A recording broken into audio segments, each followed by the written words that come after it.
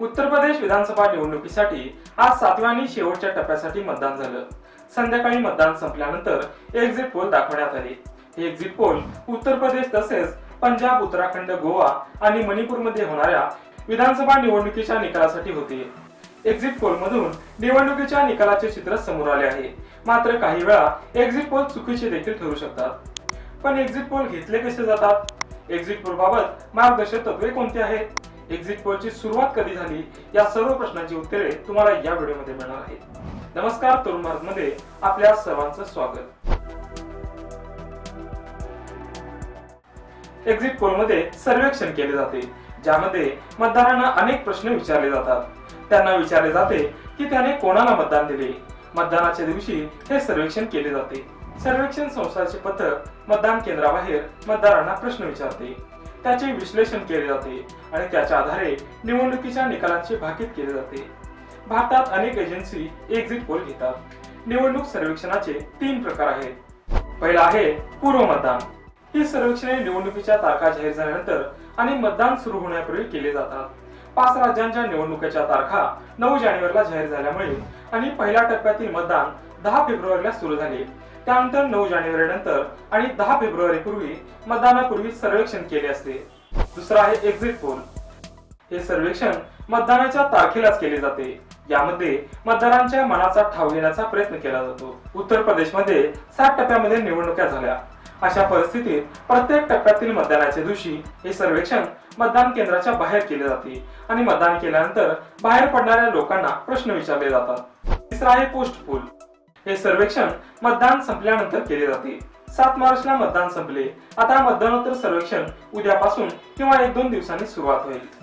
साधारणपणे कोणत्या प्रकारच्या मतदाराने कोणत्या पक्षाला मतदान केले हे जाणून घेण्याचा प्रयत्न या पोलद्वारे केला जातो. भारतामध्ये एकोणीसशे अठ्ठ्याण्णवमध्ये प्रथमच एक्झिट पोल बाबत मार्गदर्शक तत्वे जारी करण्यात आली होती. निवडणूक आयोगाने कलम तीनशे अन्वये चौदा फेब्रुवारी एकोणीसशे अठ्ठ्याण्णव रोजी संध्याकाळी पाच वाजेपर्यंत टीव्ही आणि वर्तमानपत्रांमध्ये एक्झिट पोल आणि ओपिनियन पोलचे निकाल प्रदर्शित करण्यास किंवा दाखवण्यास बंदी आणली होती. लोकप्रतिनिधी कायदा एकोणीसशे एकावन्ननुसार मतदानाचे सर्व टप्पे पूर्ण होईपर्यंत एक्झिट पोल दाखवता येत नाही. मतदानाचा शेवटचा टप्पा संपल्यानंतर अर्ध्या तासानंतर एक्झिट पोलचे निकाल दाखवले जाऊ शकतात.